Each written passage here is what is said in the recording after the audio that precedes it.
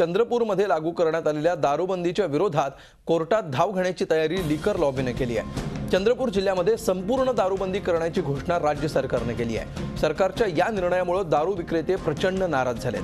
दारूबंदीच्या निर्णयाला आता कोर्टात आव्हान देण्याची तयारी चंद्रपूर लिकर डीलर्स असोसिएशननं चालवली आहे.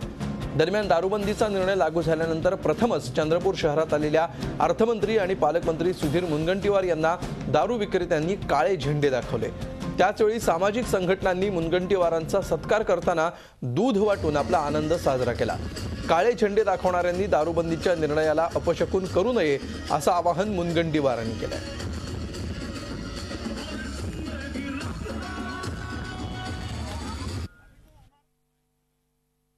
हमारे परिवार को कौन संभालेगा?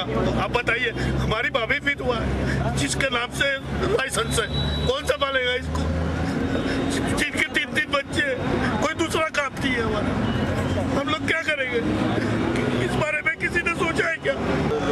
बँकेकडून लोन घेतलेलं आहे. हे लोन आम्हाला परतफेड कर या बंद झाल्यानंतर आम्ही कोणत्या प्रकारे परतफेड करू शकत नाही.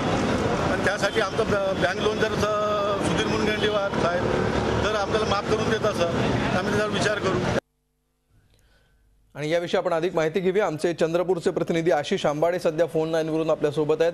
आशिष दारू विक्रेत्यांनी आता आंदोलनाचा पवित्रा घेतलेला आक्रमक पवित्रा घेतलेला आपल्याला बघायला मिळतोय. काय सध्या परिस्थिती आहे चंद्रपूरमध्ये?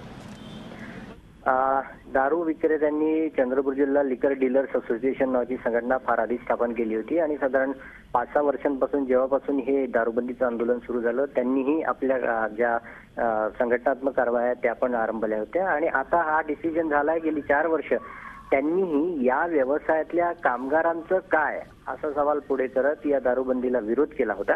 आणि हाच मुद्दा घेऊन त्यांनी आता दारूबंदीचा जेव्हा निर्णय झाला आहे तेव्हा कोर्टामध्ये या निर्णयाच्या विरोधात धाव घेण्यासाठी म्हणून सूतोवाच केलेला आहे आणि प्रसंगी सर्वोच्च न्यायालयात जाण्याचंही त्यांनी सांगितलं आहे. बिलकुल. धन्यवाद आशिष या माहितीबद्दल.